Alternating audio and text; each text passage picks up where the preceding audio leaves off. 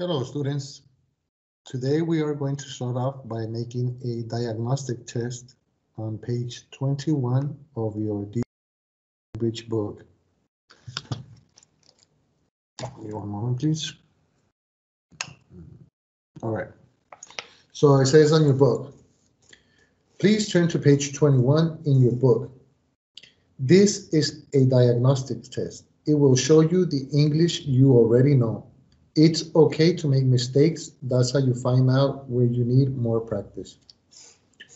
Have to have students work on diagnostic test for about 15 minutes.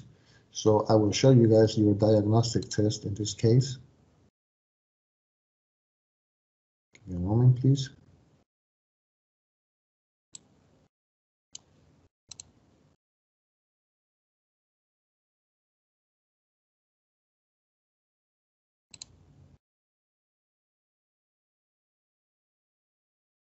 Excellent. So here it goes. So this is the diagnostic test that is on page number 21 of your book. It says on this diagnostic test, number one, circle the correct words to complete the sentences. Number one, were they checking their homework in the class this morning or were they check their homework in the class this morning? I will go ahead and double check and it's double. Were they checking their homework in the class this morning would be the correct answer. So by the same way, you need to go ahead and answer number two, number three, number four, number five, and number six of this diagnostic test. Once you get to part number two of the diagnostic test, it says, match the questions with the answers. Did you like the movie? Not really, it was boring. So you're gonna go ahead and mark F here on your diagnostic test. So you can go ahead and write that answer. What was she doing at lunchtime? Uh, she was talking to her friends. That would be the correct answer. So for number two, it would be H, correct? For number three, says circle the words to complete the sentences. David ate three bananas this morning or David ate three bananas this morning. I would think the correct answer is ate three bananas this morning.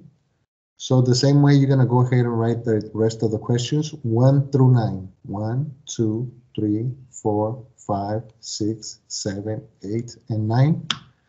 Go ahead and write the correct answer, please. Once you finish with page 21, we are going to go ahead and turn your book to page 22. Lesson number one, I feel terrible.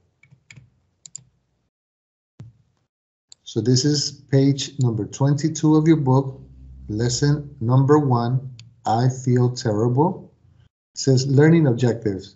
I can describe my feelings in a past situation, vocabulary, irregular verb review, grammar, simple past review.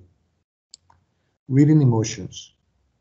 Read and underline three things that makes our emotions. So you're gonna go ahead and read this text. Once you figure out what makes our emotions, you're gonna go ahead and underline this.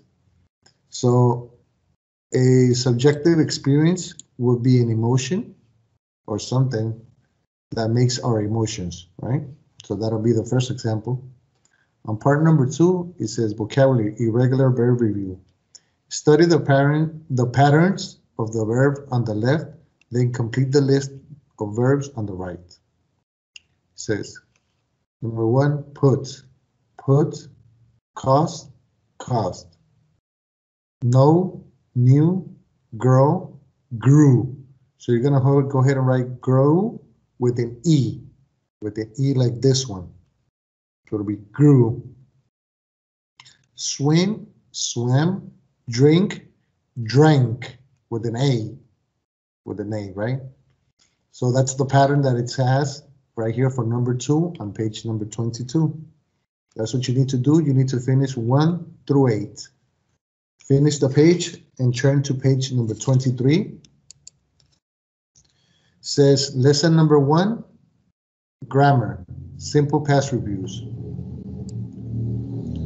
Was he happy at the game? Yes, he was, or no, he wasn't. Did you finish the project? Yes, he did, or no, we didn't. Were we, were we, where were you, where were you yesterday? I was at home. Where were you yesterday? I was at home. How did you feel after the test? I feel happy. I didn't feel well. Where did she buy her phone? She bought it online. Where did she buy her phone? She bought it online.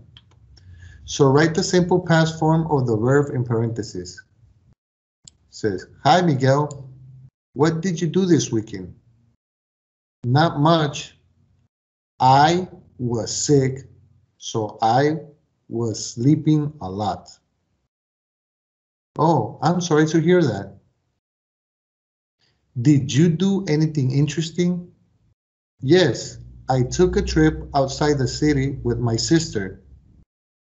Oh, I didn't know you had a sister. Where did you go?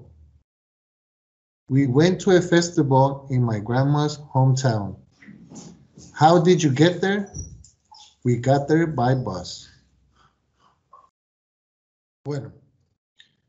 Continuing with page number 23, we are going to do page number 23, part number four. Says writing, bad experiences.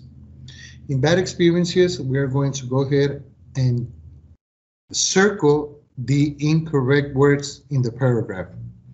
Says the instructions, read and circle seven mistakes in the paragraph, rewrite the paragraph.